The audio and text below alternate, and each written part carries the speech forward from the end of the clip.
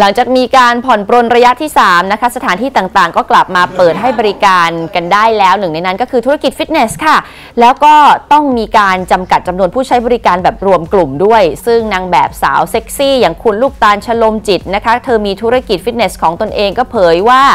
มีการผ่อนปรนให้สามารถดำเนินกิจการได้ ก็ดีขึ้นมาหน่อยนะคะ ตอนนี้ยิมได้เปิดเต็มรูปแบบแล้ว มีมาตรการตามที่ทางรัฐขอความร่วมมือทุกอย่าง ส่วนรายได้ก็ยอมรับว่าน้อยลง ลูกค้าที่เข้ามาก็น้อยลง แล้วก็ต้องทำใจยอมรับ เพราะยังดีกว่าไม่ได้เปิดเลยค่ะ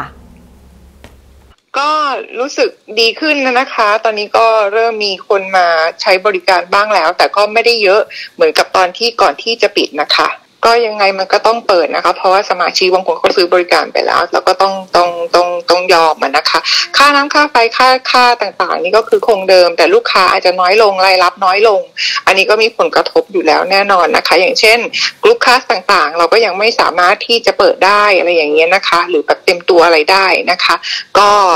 ก็ขาดรายได้ไปบางส่วนเหมือนกันนะคะแล้วอีกอย่างหนึ่งที่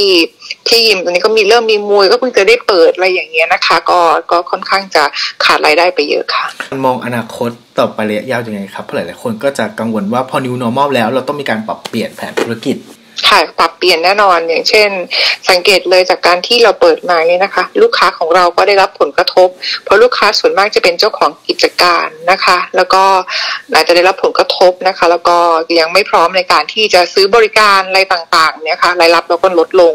แล้วเราก็เลยต้องมีการปรับเปลี่ยนอย่างเช่น ลดราคาลงบ้างอะไรลงบ้างอะไรอย่างเงี้ยค่ะครับพี่ลูกตาลขอบคุณมากนะครับพี่ลูกตาลครับค่ะขอบคุณค่ะครับ สวัสดีครับ